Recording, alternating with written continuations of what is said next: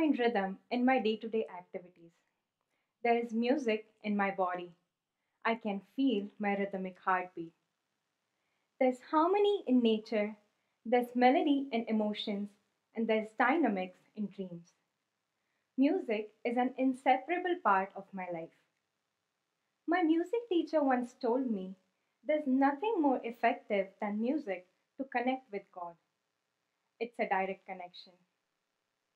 Like music, architecture also plays a big part in my life. I love designing spaces as much as I love expressing my emotions through music. As an architect, designing spaces is my passion.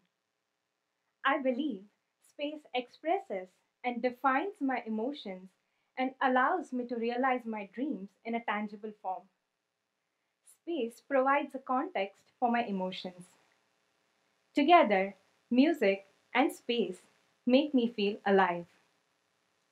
So, as an architect, urban planner, and a vocalist who started singing at the age of eight, I decided to combine my two passions. I thought, why not design spaces that will enhance the effectiveness of the function of those spaces? How can I design a space using attributes of music to get a better feel and emotional impact out of the space? For example, could I design a house with a tone in a way that would make me forget about all the worries? Could I design a spa using tone and texture to get a greater feeling of calmness and more relaxation along with the actual physical treatments? Could I design an office space with rhythm to increase the effectiveness of the work done in the space? Could I design a healthcare facility with harmony to allow for better and faster healing? How can I explore the connection between the human mind, music, and architecture? As the 18th century writer and poet Johann Wolfgang von Goethe said, music is liquid architecture, and architecture is frozen music. There is structure in music and there's rhythm in architecture. Similar to the impact of music on the human mind, it influences space as well.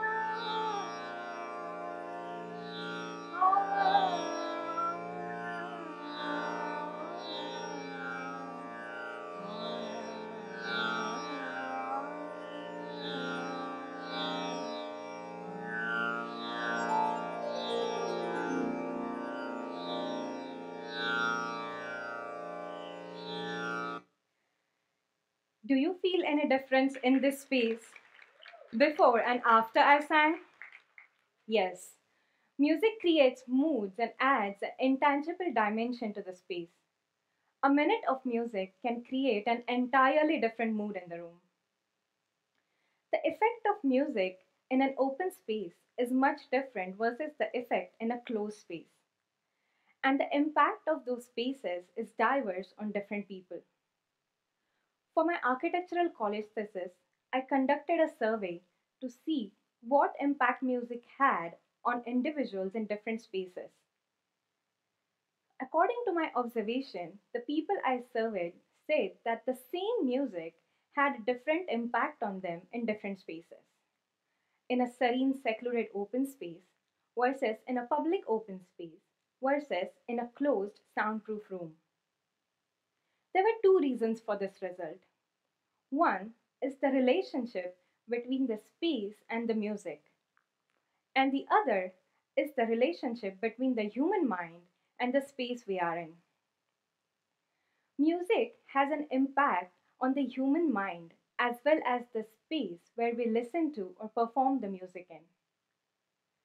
According to my observations, I decided to further pursue my interest in designing harmonious spaces.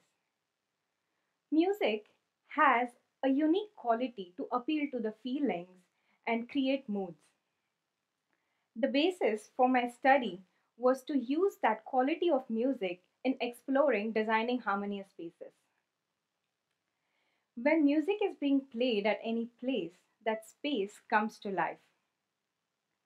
The research, case studies, and interviews I did for my thesis led me to come up with two basic concepts that I used as a basis for designing harmonious spaces.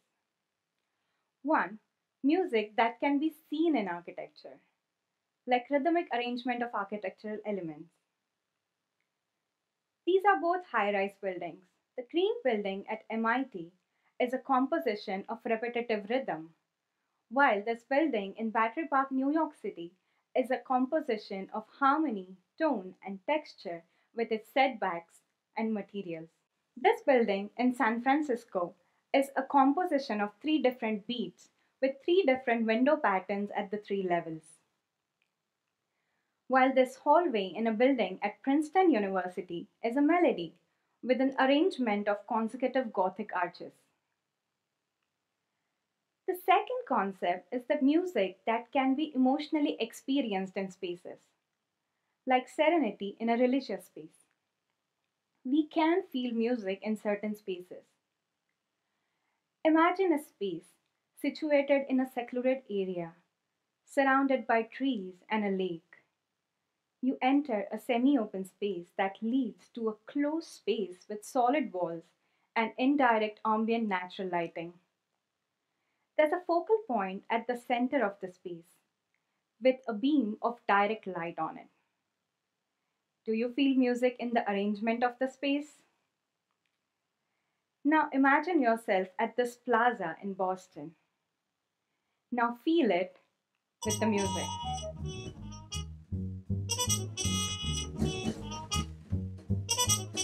It comes to life.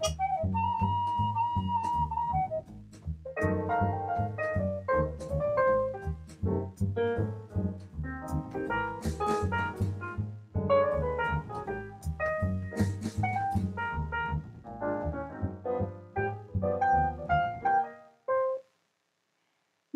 feel a different space at this resort in Sri Lanka with the same music.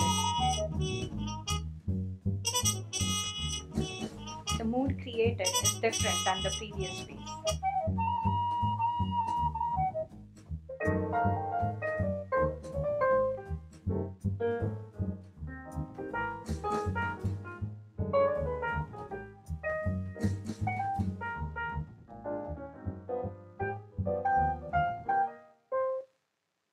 Let's see another example. This is a stepwell in India. Now feel it with a different kind of music. Ah.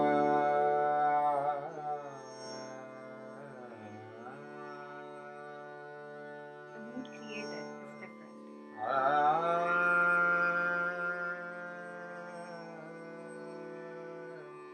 ah. ah.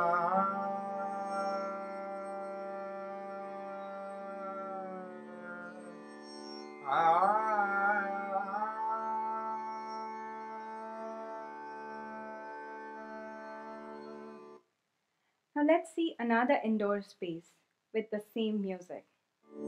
Ah.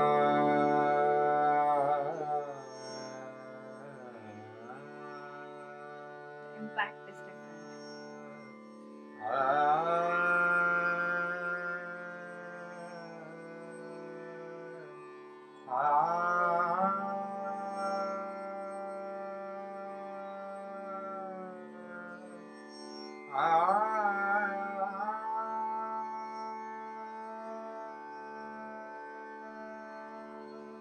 These spaces get another dimension. Combining the two concepts, I thought, could I design a space that has musical attributes to its structure as well as the feel of music in the space? One of the important factors in designing spaces is materials. For example, acoustic materials used in an auditorium or a recording studio enhance the music played.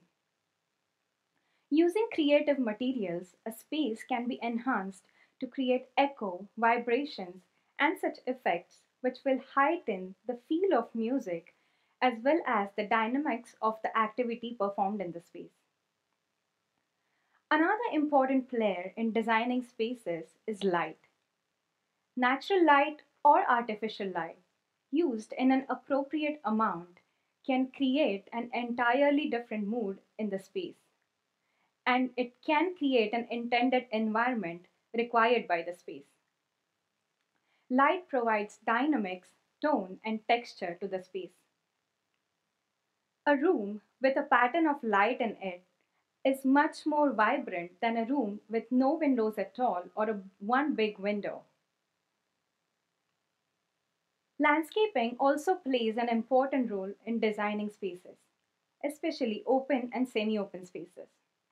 The music created by trees and plants, as well as the texture, helps set a particular mood to the space and complements to the and complements the activities performed in the space. In each of these harmonious designs for open spaces, there's a specific attribute of music that sets a mood for the space. The space becomes active with the music created by the plants and the trees. We can communicate our feelings through music, while architecture is an expression of feelings in the form of structures.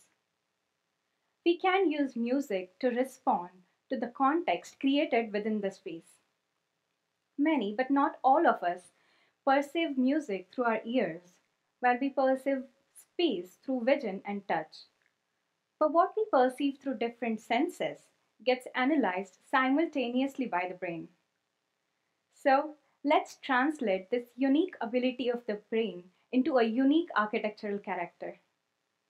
Let's, let's design a composition of spaces that build, nurture, heal, and protect lives.